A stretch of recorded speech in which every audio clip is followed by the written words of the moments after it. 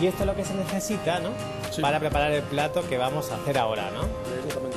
Estoy contento, no contentísimo, porque por primera vez Ochio Madrid visita un restaurante cuya especialidad es un plato típico, muy típico de Madrid. ¿Cuál? Ahí lo estáis viendo. Os podéis hacer una idea que se puede hacer con esto. Pues el cocido madrileño. Yo diría que aquí en la casuca se prepara uno de los mejores cocidos de todo Madrid. No se sabe si va a ser el mejor porque estáis de concurso. La gente, los madrileños y los que quieran de fuera pueden hacer la ruta y elegir cuál ha parecido el mejor cocido de todo Madrid, ¿no? Exactamente. Todavía no se sabe, ¿no? Hasta el 31 de marzo, ¿no? No no sabremos sabe cuál es el mejor el- cocido, ¿no? En cualquier caso, mi interés máximo es saber cómo preparáis aquí uno de los mejores cocidos de Madrid.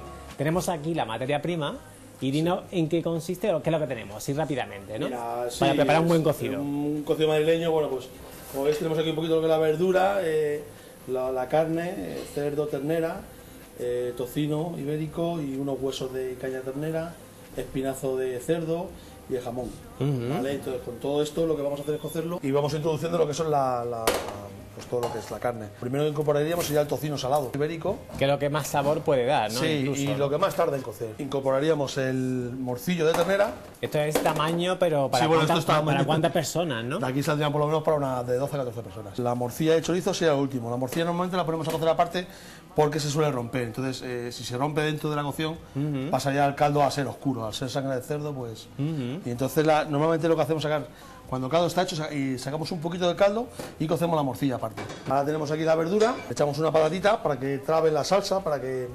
Para que espese un poquito, que no sea un, un caldo clarito, clarito. Posteriormente también la ponemos en, Se usa para se que- usa para como eh, complemento, exacto, ¿no? como complemento.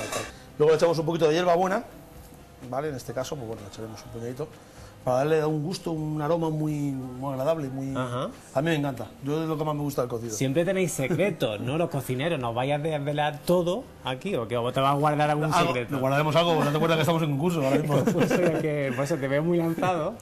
Digo, bueno. Y un poquito de zanahoria. Bueno, pues esto lo que hacemos ya es eh, ponerlo, terminarlo de llenar de agua y dejarlo cocer. ¿Y los garbanzos? Los garbanzos ¿Dónde los tenéis? tenemos por aquí escondidos.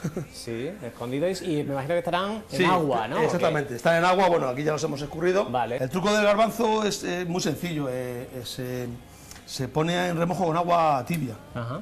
para que el garbanzo es una de las legumbres más duras que hay, entonces para que chupe bien el agua y esponje bien, se mete con un poquito de sal y agua tibia. Ajá. Lo que hacemos es sacar un poquito de caldo de aquí y lo pondríamos a cocer. Y una vez que empieza a hervir, es cuando introduciríamos el garbanzo.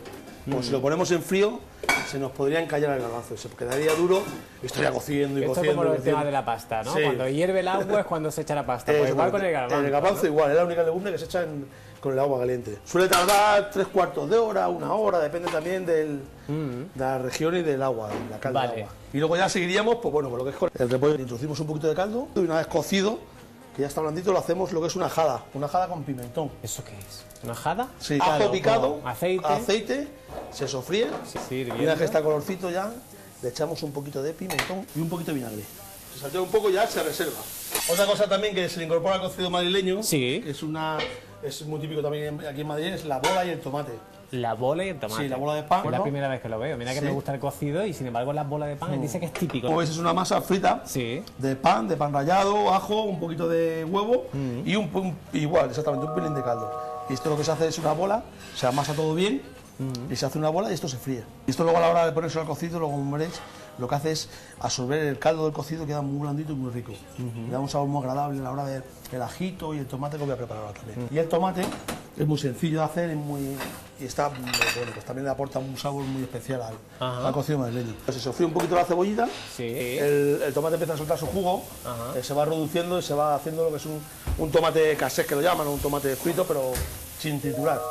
¿De acuerdo? Y esto luego se lo incorporaremos también al cocido. Los fideos, claro. Exactamente, los fideos que es el primer plato del cocido madrileño. Claro que sí. Es- si no se empieza con la sopa, entonces Ya no es madrileño. ya no es madrileño, ¿no? Bueno, pues entonces nada, sería echarle un poquito de un fideo cabellín, un fideo fino, Ajá. Nada, un poquito, se le deja cocer durante 4 o 5 minutitos y ya tendríamos la sopa preparada. Vale, esa es la sopa, el primer plato de que se conforma el cocido. Pues yo me voy con Francisco, ¿qué tal? ¿Cómo estás?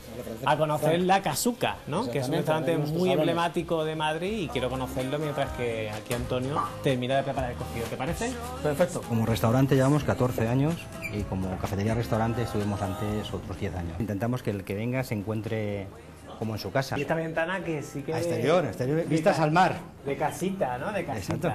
Esta es la vista que tenemos desde la Casuca. Estamos a 15 minutos del aeropuerto, Mm. a 5 minutos de la estación de Chamartín, o sea que estamos... Mm, Un restaurante castizo, ¿no? Castizo. Y donde se prepara muy buen cocido. Con nosotros tenemos unos platos siempre fijos Mm. de guisos. Tenemos el cocido montañés, el cocido lebaniego, los julianes de la granja, estilo asturiano. eh, tenemos algunos arroces, tenemos una carta un poquito completita. Y para que quede claro en cuanto a la ruta del cocido, ¿no? ¿Cómo se puede participar lo que estén en casa? Que hasta el día 31 hemos dicho. ¿no? cualquier persona que vaya a cualquiera de los restaurantes que, que- que van en lo que es la ruta del cocido madrileño, Sí. eh, yendo a dos restaurantes, entregando la papeleta con el sello pertinente de cada restaurante, Sí. lo entrega en el último restaurante que vaya y entra en un concurso pues, de, de aceites, garbanzos, eh, vino y café, en lo que es el peso de la persona. Aceite, garbanzo, vino y café. Es decir, si yo una persona peso pesa 60 kilos, 72 vamos a kilos, dejarlo en 60. No, no, 72 kilos, no pasa nada, Pues Paco, no 72 pasa kilos. nada. Pues Yo no he dicho se, el con- mío. se convierte en... En, ga- en 72 Pero kilos de 72. garbanzo, 72 Ah, de cada uno 72 kilos kilos, de- del peso de la persona. Exactamente. Qué buena idea, ¿no? Vale, pues ya que estoy aquí me lo sellan, ¿no? Por supuesto. Que de, de fe que, que he estado aquí en uno de los restaurantes, en este caso en la Pero te Casuca. lo tienes que comer. Vale, vale, luego, luego lo probamos, ¿vale? Muy bien. Séllamelo. Vamos a ver cómo va Es la intención. Antonio con el cocido. Pues vamos. Venga, vamos. Antonio, ¿se puede o no se puede? Por favor, pasad. Ya está esto preparado, ¿no? Ultimando ya los últimos detalles, el tomatito que os he comentado antes. Sí. Pues poner un poquito aquí en un lado. Ajá. Y como veis, este es el cocidito madrileño. Vale. Todos sus ingredientes, toda su chacinería, verduritas. ¿De acuerdo? Y la sopa que la tenemos por aquí ya Y la sopita, ¿no? Que decíamos que eso era pues el entrante del cocido madrileño, ¿no? la sopa. Entonces, bueno, pues bien calentita, pues es un plato de invierno. Y es Vale. como, como apetece bastante. Bueno, pues aquí lo que falta es un tenedor, lo primero para, para, para, para probarlo, Una ¿no? buena cucharita Una cuchara, un tenedor, una cuchara. Y yo, a cambio de la cuchara, os entrego nuestra pegatina oficial de 8 Madrid como restaurante recomendado por nuestro programa. Al cual de los dos, igual yo creo que se merece muy mucho Antonio, ¿no? Por lo que, no, lo que acaba de hacer, ¿vale? Y mientras que yo pruebo el cocido a vosotros, mientras que yo pruebo el cocido madrileño, vosotros al cine de la mano de Antonio Mirabal.